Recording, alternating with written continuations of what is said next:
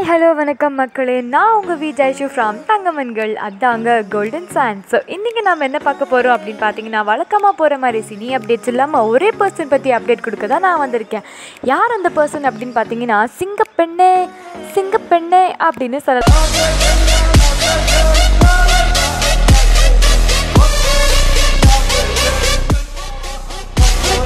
அது மட்டும் இல்லாமல் பேன் இண்டியா ஆக்ட்ரஸ்ன்னு சொல்லாங்க. ஏன்னா தமிழ் மலையாளம் கன்னடா தெலுங்கு அது மட்டும் இல்லாமல் ஹிந்தியில் கூட படம் பண்ணியிருக்காங்கன்னா பார்த்துக்கோங்களேன் இந்தியா ஆக்ட்ரஸாக மட்டும் இல்லைங்க. பல அவார்ட்ஸை வாங்கியிருக்காங்கங்க. Best actress award Filmfare award அது மட்டும் இல்லாமல் நோபல் அவார்டே வாங்கியிருக்காங்க.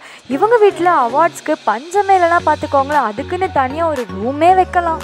ரொம்ப இழுக்காம யாருன்னு டக்குன்னு சொல்லிடுவா. வேற யாரு? நம்பர் நயன்தாரா மேம் தாங்க. அன்சினக்காரே அப்படின்னு சொல்லிட்டு மலையாளத்துல ஃபர்ஸ்ட் டெபியூ ஃபிலிமா பண்ணியிருக்காங்க டூ தௌசண்ட் த்ரீல அதுவும். அது மட்டும் இல்லாம ஐயா படம் டூ தௌசண்ட் ஃபைவ்ல அவங்களோட தமிழ் சினிமாக்கு ஃபர்ஸ்ட் டெபியூ படத்தை பண்ணியிருக்காங்க அடுத்து தெலுங்குல லக்ஷ்மி அப்படின்னு பண்ணியிருக்காங்க அதுதான் அவங்க தெலுங்குல கொடுத்த ஃபர்ஸ்ட் டெபியூ ஃபிலிம் அப்படின்னு சொல்லலாம். ஆனா அவங்களுக்கு தெலுங்குல நல்ல பேர் வந்தது ஸ்ரீராமராஜம் அப்படின்னு டூ தௌசண்ட் லெவன்ல பண்ணக்கூடிய அந்த படம் தாங்க அந்த ஒரு படத்தினால தான் இவங்களுக்கு ஃபிலிம்ஃபேர் அவார்டே வந்தது. அதுவும் பெஸ்ட் ஆக்ட்ரஸ் இன் தெலுங்குவாவே வந்திருக்குன்னா பார்த்துக்கோங்களேன். அது மட்டும் இல்லாமல் நந்தி அவார்ட் ஃபார் பெஸ்ட் ஆக்ட்ரஸும் வந்திருக்குங்க. தமிழில் இவங்களுக்கு நல்ல பேர் வாங்கி கொடுத்த படம் அப்படின்னு நான் கண்டிப்பாக ராஜாராணி தாங்க சொல்லுவேன். ராஜாராணி படம் ரிலீஸ் ஆகி பத்து வருஷம் ஆனாலும் இப்போ கூட அதில் நயன்தாரா மேம் பார்க்க செம்ம அழகாக இருக்காங்கன்னு சொல்லலாம். இப்போ கூட ராஜாராணி நயன்தாரா மேம் மேலே எத்தனை பேருக்கு க்ரஷ் இருக்கு?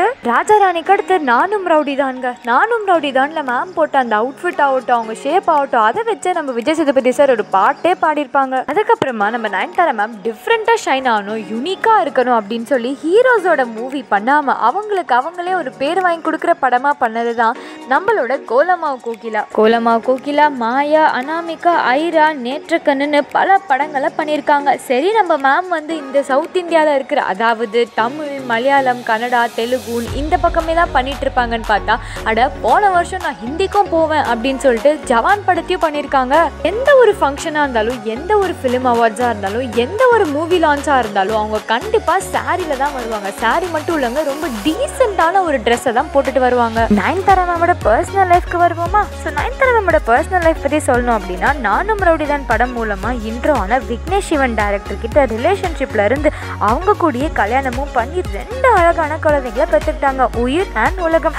அந்த ரெண்டு பேருமே கப்பலா பார்க்க ரொம்ப க்யூட்டாக இருக்காங்கல்லங்க. எனக்கே அவங்க மேலே கண்ணனா பார்த்துக்கோங்களேன். ஸோ இந்த மாதிரி நம்ம பேன் இந்தியா ஆக்ட்ரஸ் இருக்கிற நயன்தாரா? ஐயோ பேன் இண்டியா மட்டும் இல்லைங்க. நம்ம லேடிஸ் சூப்பர் ஸ்டாராக இருக்கிற நயன்தாரா மேம்க்கு இன்னைக்கு பிறந்த நாள். கோல்டன் ஃபேன் சார்பாக இனிய பிறந்த நாள் நல்வாழ்த்துக்கள்.